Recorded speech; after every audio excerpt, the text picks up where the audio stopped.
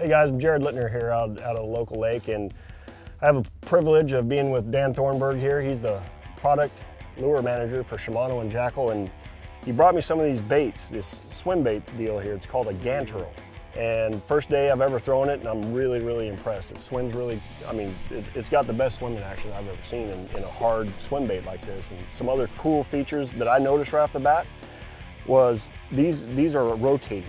So in other words, when you hook a fish on this, you're not fighting against, you know, you have less opportunity to lose that fish.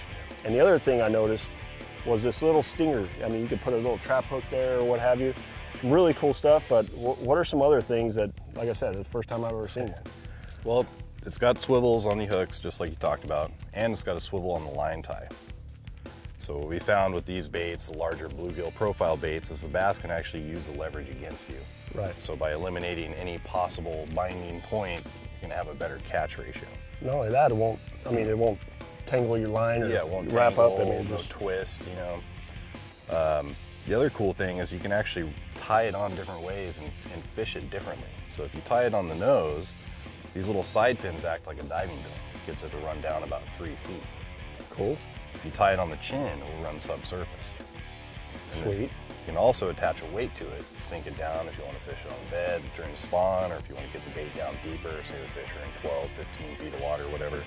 So you can adjust the weight and get the bait where you want it and kind of keep it in that strike zone. So when you said subsurface, were you talking more of like a wake, wake yeah, type? Yeah, just, just right below the surface. Okay. You know, maybe three inches below the surface. Sweet, man. Well, I really like this color. What, what, what else we got going on? Well, shad have, colors or We're gonna have a shad color, a baby bass, several different bluegill patterns.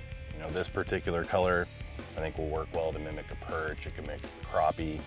So you got a bunch of different forage for bass. You know, you can kind of imitate with one bait. Cool. You know, another thing I noticed when I was throwing it for the first time is you'd be winding it, winding it, winding it, and you give the hard or give the rod a hard twitch, and it'll actually 360 on itself and kind of stare back into the into a fish's face. And exactly. we all know they can't stand that. Yeah, especially to get those followers. Yeah. Yeah, that's big time trigger mechanism. But I'm taking a couple of these, right? Yes, sir. I'm allowed to keep a couple for yes, Hartwell for the Classic because I can see that doing some damage as well as, you know, we got some trips planned to Clear Lake and the Delta and things like that. That's going to be a, a, huge factor in the success. But uh, anyway, I'm going to have them in my arsenal. You guys better check them out and load your boxes up. Available at Tackle Warehouse today.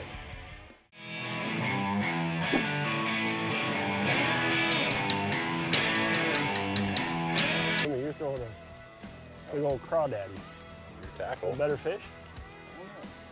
Thinks he's caught a fish.